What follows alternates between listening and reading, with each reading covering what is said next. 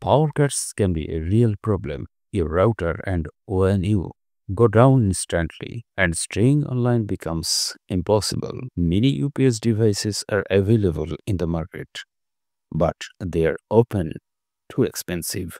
So I decided to build a simple and low cost mini UPS that anyone can make at home. It works just like expensive ones, but at a fraction of the cost. I used 31650 lithium ion cell to make a 12 volt battery pack to manage charging and discharging safely.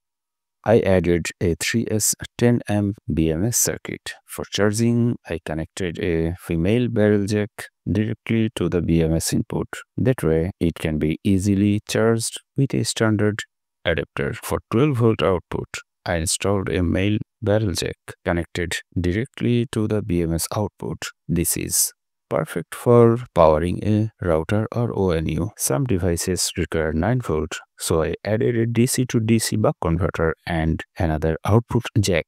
Now this UPS can power both 12 volt and 9 volt device simultaneously.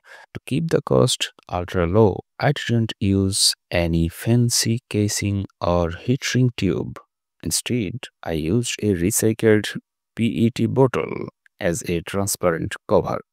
It not only protects the components but also allows everything inside to be visible. And here's the result. A working mini UPS, keeping my internet alive during power cuts. Simple, cheap, and effective. If you want a reliable mini UPS without spending a lot of money, you can build this DIY version yourself. Stay connected even when the power goes out.